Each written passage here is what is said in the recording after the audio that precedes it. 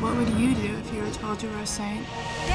I think death is has always fascinated me since I was a young child.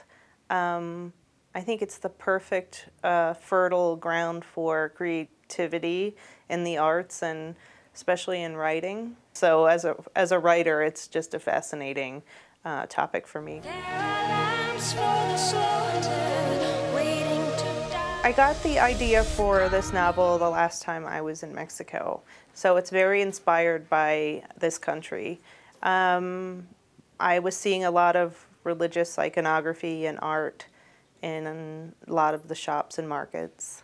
So I went back home to the States to, um, to research uh, some martyr stories to find out if there was something there that I could write about.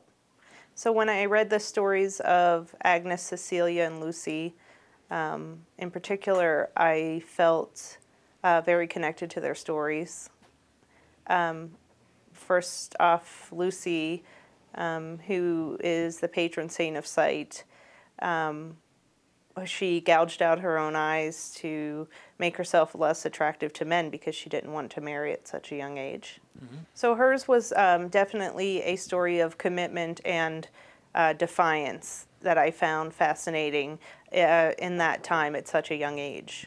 And then Cecilia, I came across. Um, she's the patron saint of music, and I felt um, bringing her into the modern age as a struggling musician was uh, something that, that thrilled me and kind of uh, I, I felt her story was probably most like mine. Moving from the Midwest, a small town in the Midwest, to New York City to try to make it as a musician and that struggle um, was something that I really wanted to um, bring to Cecilia's story. Her martyr story is um, she was ordered to be beheaded because she refused to marry, and uh, she continued to sing three days after her head was um, chopped off. So there was that uh, obviously uh, determination um, that I, I, love to have um, in my stories to never give up and to have faith in yourself.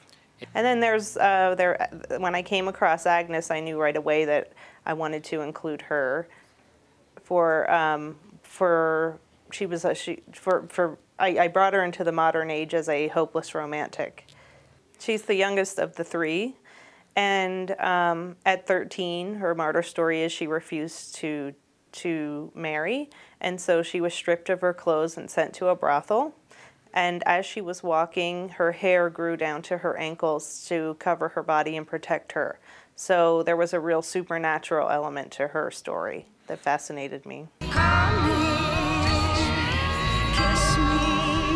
Oh, of course. Um, I think that I think that our vampire stories, our zombie stories, our stories of wizards and magic and supernatural, paranormal love stories, um, all stem from these martyr stories.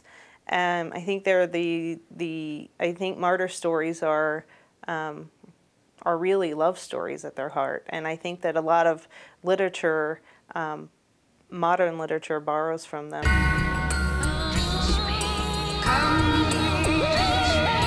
I joke that uh, I was Mexican in a past life because um, this is where I think my soul lives because of that um, relationship with death and the humor and the also the respect they pay to to their uh, beloved, um, their deceased. Um, and, and it's something that really fascinates me about this country and something I really, I really relate to. And, and since I really deal with death in my work, um, I feel probably most at home here.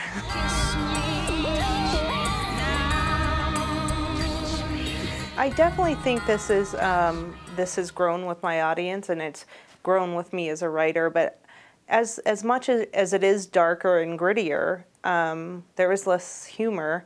Um, it is very similar to the Ghostgirl books, with um, the themes of love, acceptance, loss, um, and longing.